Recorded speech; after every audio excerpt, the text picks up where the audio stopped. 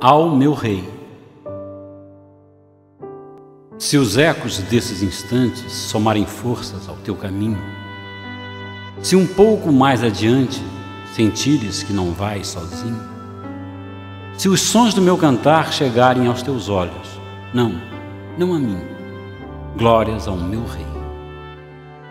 Se eu vencer montanhas, andar nos céus, colher estrelas, se eu tocar a carne, curando as sombras que te limitam, ou se juntar pedaços de um sonho intenso que se perdia, não, não a mim, glórias ao meu Rei.